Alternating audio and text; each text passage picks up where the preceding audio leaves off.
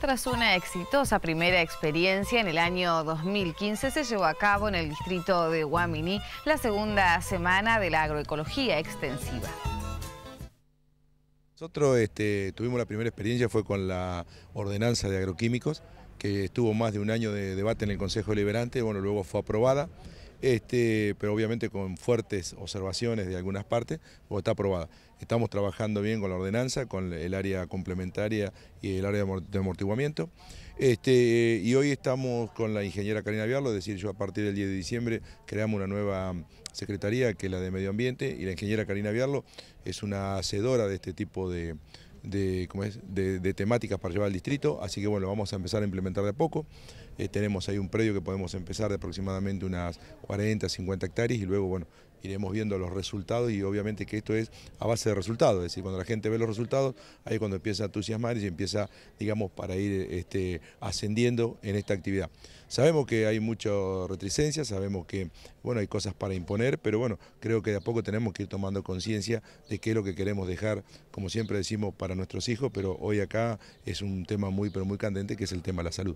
Esto comenzó en la discusión de la ordenanza de agroquímicos, que, que fue muy larga, estuvo más de dos años en el Consejo Liberante, y, mucho tiempo anterior. Y la verdad que en esa discusión de, la ordenanza agroquímico empezamos a comenzar, bueno, ya que no salía la ordenanza, ¿qué podíamos hacer para mejorar el medio ambiente, digamos, y para... No es para no permitir el uso agroquímico, sino para regularlo y para ver cómo. Bueno, y ahí surgió un día Eduardo Cerdá, se acercó a nuestro director de medio ambiente, surgió la propuesta, empezó a venir a tener charlas y empezamos con, con 100 hectáreas de, agroecología, 50 en verdad fue la primera. Y hoy estamos en 1000 hectáreas en el partido de Guaminí que se cultivan sin el uso de, agroquímicos, digamos. Y como ustedes vieron hoy, acá había ejemplos de Tres Lomas, había ejemplos de Benito Juárez, de Tres Arroyos, de otros lugares de, donde se está dando esto.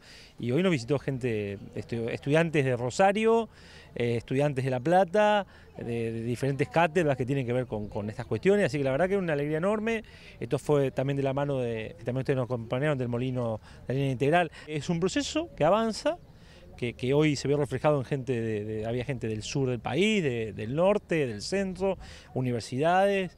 Eh, va avanzando, no sabemos hasta dónde va a llegar, nosotros no somos de los, yo por lo menos no soy un fundamentalista ni de un lado ni del otro, yo ni creo que el glifosato se puede tomar como agua, ni creo que que no se puede usar para nada. Digo, yo lo que digo es que todos los pasos que podamos llevar dados en pos de mejorar nuestro medio ambiente y el menor uso de, de sustancias tóxicas, por decirlo de alguna manera, mucho mejor. Y este es el camino que estamos dando sin pelearnos con nadie, sino proponiendo algo distinto.